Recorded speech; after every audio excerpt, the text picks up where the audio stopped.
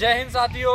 साथियों मैं आपका शाहरुख और आपके सामने एक बार फिर से हाजिर हूँ। तो भाइयों काफ़ी दोस्तों का कमेंट आ रहा है कि सर इंस्ट्रूमेंट का चुनाव कैसे रखें? तो मैं आज आपके सामने ये रखे हुए हैं इंस्ट्रूमेंट तो मैं आप बत, आज बताऊँगा कि इंस्ट्रूमेंट का सही इंस्ट्रूमेंट का चुनाव कैसे किया जाए। तो फ़र्स्ट ऑफ़ ऑल पहले आपको मैं त्रम्पिट में बता दूँ। ये त्रम्पिट होती है ठीक है भाइयों? ये ब्रास बैंड में आती है। और मेन चीज़ सबसे पहले आपको क्या देखना है? इनकी चाबियाँ देखना है। ये चाबियाँ कैसी हैं? क्योंकि इसमें दो चीज़ का बहुत अहम है। मतलब दो चीज़ इसमें बहुत अहम है। क्या चीज़ अहम है? पहले ही तो चाबी अच्छी होना चाहिए, उसके बाद ये माउथ पीस अच्छा होना चाहिए। क्योंकि इंस्ट्रूमेंट यहाँ से बचता है इस माउथ पीस के कारण। ठीक है?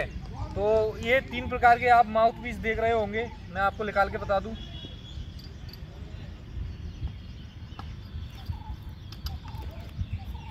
ये माउथ पीस है। जूम करो थोड़ा। ये तीन प्रकार के आपको माउथ पीस दिख रहे होंगे। ठीक है? तो बेस्ट माउथ पीस कौन सा है? तो मैं आपको बेस्ट माउथ पीस बता दूँ, जिसके हाई नोट नहीं निकलते, वो इस माउथ पीस का चयन करें। ये यहाँ से मोटा होगा और यहाँ से थोड़ा छेद इसका चौड़ा सा होगा, ठीक है? अगर उसके नोट निकल रहे हैं हाई नोट और सिंपल नोट नहीं निकल रहे तो वो इस माउथ पीस का चयन करें। ठीक है? ये ऐसा होगा, इस प्रकार। ये ज़्यादातर ट्रम्पटों में यही यूज़ किया जाता है और जिसके ज़्यादा हाई नोट चाहिए वो इस माउथ पीस का यूज़ करें। ठीक है? ये सिंपल होता है, ये ट्रम्पेट जो बैंड बजाते हैं उनमें ज़्यादा यूज़ किया जाता है। तो मेरे हिसाब से सबसे अच्छा माउथ पीस ये वाला है। अगर आपको चाहिए होगा तो आप मुझे कॉल करके ये माउथ पीस मंगवा सकते हैं, जिसके नोट नहीं आ रहे हैं वो इस माउथ पीस से बजाएँगे तो उसके हंड्रेड परसेंट नोट ऊपर के आ जाएँगे।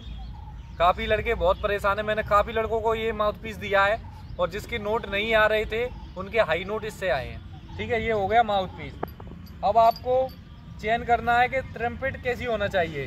तो ट्रम्पेट सबसे अच्छी होती है नादर अली की। नादर अली की जो ट्रम्पेट लेगा, वो एक नंबर की ट्रम्पेट होती है। और आप ये ट्राई कर लेना कि ट्रम्पेट हल्का ना हो। थोड़ा वजनदार होना चाहिए। और उसकी ये चाबियाँ हैं, चाबी अच्छी होनी चाहिए और सबसे अच्छी पहली चेन होता है यहाँ से। इसको खोलो आप और इसको देखो, ये कैसा है। हल्का तो नहीं है, ये यहाँ से देखना और इसके अंदर से देखना। ये हल्का तो हल्का तो नहीं है, यहाँ से चैन होता है इसका। तो ये ट्रम्पेट हो गई और ये माउथ हो गया। अब बात कर ले बिगुल की। तो आपके सामने ये एक, ये बुगुल है और एक ये वाला बिगुल है। इस बिगुल में और इस बिगुल में क्या अंतर है? इस बिगुल में और इस बिगुल में ये अंतर है कि ये भारी है और ये हल्का है। ये कितने नंबर है? तो मैं आपको बता दूँ, ये शायद छः नंबर है।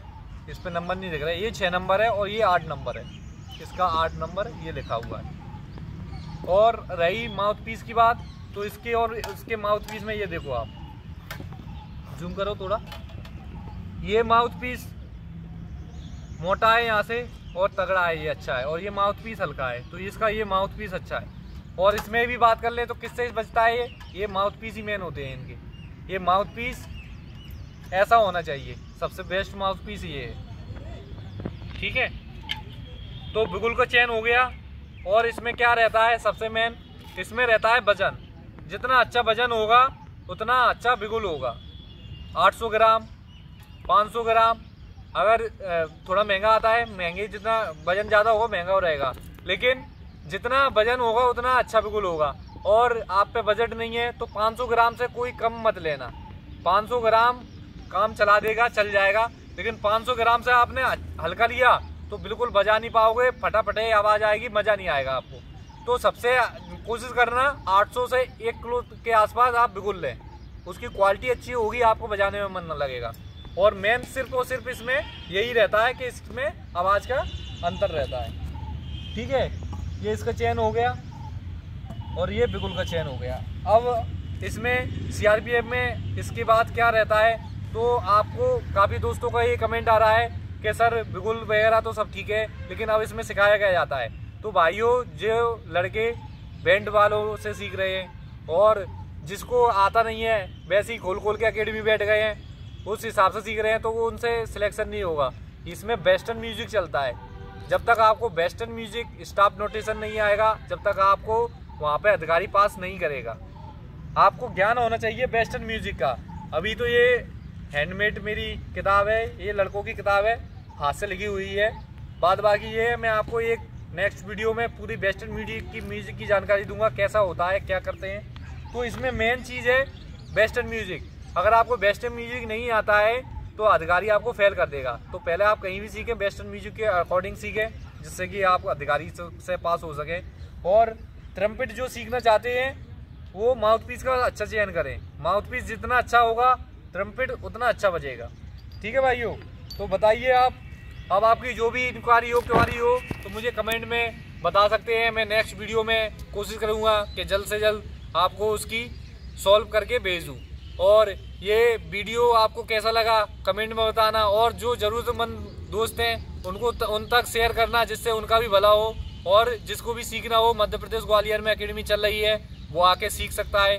तो भाइयों मेरा वीडियो कैसा लगा कमेंट में ज़रूर बताना। चलिए फिर किसी नेक्स्ट वीडियो में मिलेंगे किसी नए टॉपिक पर। जब तक के लिए जय हिंद जय भारत।